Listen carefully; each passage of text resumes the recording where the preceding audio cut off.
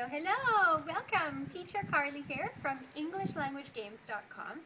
And in this video, I'm going to teach you a cute little kind of song and chant uh, that I use to really help motivate, to energize, and of course also to teach uh, proper sentence structure with the verb can. Um, I don't know about you, but in, in my class, I've, I've often had kids make the, the, the common error of saying things like, I can to play or I can playing. Um, a very common mistake is they kind of take the, the, the, structure of what they've learned from, from other sentences, other verbs, and they try and apply those rules to the verb can. But because it's um, it slightly it follows slightly different rules. Uh, this is a, a, fun little energizing, motivating little little chant that I use to uh, to teach the verb to can. I, uh, to, be, to, teach the verb can, sorry. um, so the, the first one I do is um, uh, I, I kind of get their attention. I said, okay, we're going to sing this how many times? And, and put up your fingers. And if they're not quite sure what you're talking about, say, five or seven? Seven. Oh, okay, yay. So we're going to sing it seven times. Here it goes. And of course, always start off slow so that they can kind of build up. So it starts with, I can do it. So it goes. I can do it, I can do it, I can do it, I can do it, I can do it, I can do it, I can do it! Course always a big jump up at the end for just to get your energy going. Um, and then um, pick another verb. So normally the easiest afterwards is to follow with something like swim. So then we would do um, I can swim, I can swim, I can swim, I can swim, I can swim, I can swim, I can swim! Yay! um, and then you can follow up with something like maybe jump. So I'll just kind of give you a few examples and, and then I'll, I'll continue on here. So um, if, for jump, you could do I can jump, I can jump, I can jump, I can jump, I can jump, I can jump, I can jump! Yay! Oh, and perfect. If something like a helicopter passes by, for example, you can take that opportunity and start to introduce something like, it can fly, it can fly, it can fly, it can fly, it can fly, it can fly, it can fly, yay! Um, so that's kind of how I, I, I first in, started introducing it and, and kind of adding on new action verbs one at a time.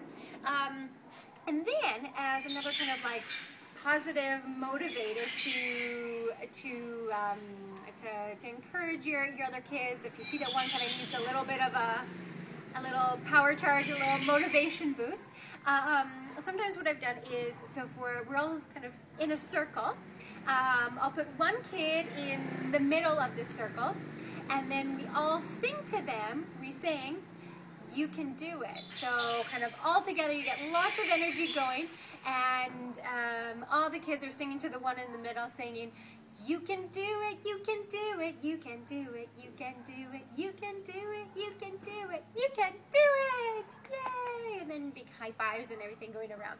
So that's one way, and then, you know, follow them, always repeat, repeat, repeat, so you can throw it, um, put another one in, and then you can practice the, um, you know, you, you can swim or something. So always going back, repeating the same verbs, but uh, just changing one word at a time. So for example, the, the, the subject, the person, okay, the pronoun in that case. Um, and then what I would do is sorry, I, I, don't have my, my regular props here with me, um, but uh, even just the idea of using a, a flashcard or if you have a little doll or something, um, so something of a little girl. And then you can put the girl uh, normally what I would do is just kind of put it in the middle of the floor on the ground so that um, we can all kind of point to, to the girl and then we can sing something like she can, I don't know, pick another either practice one of the verbs you've already learned or introduce a new one. So let's say, for example, sing. So then you can, um, you've got the little girl, and you can start singing, she can sing, she can sing, she can sing, she can sing, she can sing, she can sing, she can sing. Yay! Okay.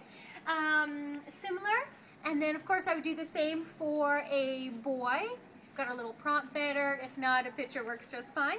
Um, and the, the, reason that I do this and, and I don't use one of the kids from the group, I mean, I'm sure you could, but if as long as you're able to make a very clear differentiation between when we're talking about you, as in you can do it, and he, as in the boy, okay?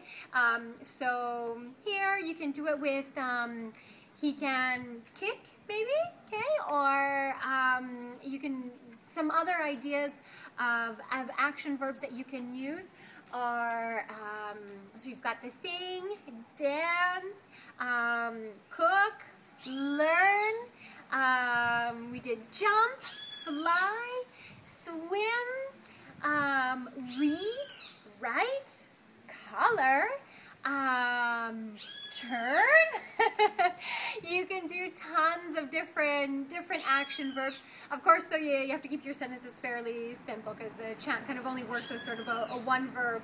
Um, and sorry, just to finish up there, then I would also um, either put um, both of the props, so the, the girl and the boy, put them in the middle on the floor, or get, get a new one with, um, you know, two kids on it that are playing, and put that on the floor so that then you can sing they. They can play, they can play, they can play, they can play, they can play, they can play, they can play, yay!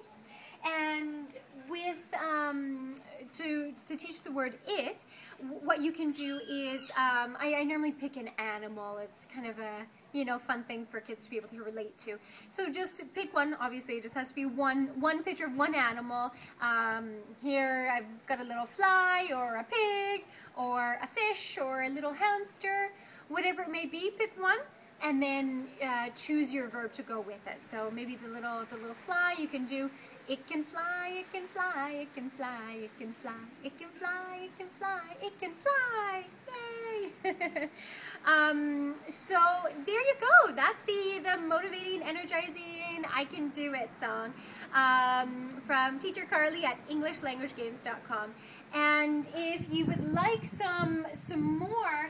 Um, I, have also got a, a worksheet uh, that I use to follow up with this uh, that also includes um, uh, a very simple structure that I've put together to be able to teach kind of sentence structures um, with the, the verb can because it's, it's so easy.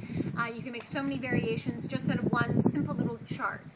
And then there's also some conversation ideas of how um, you can get kind of kids um, practicing conversation and talking about what they can do.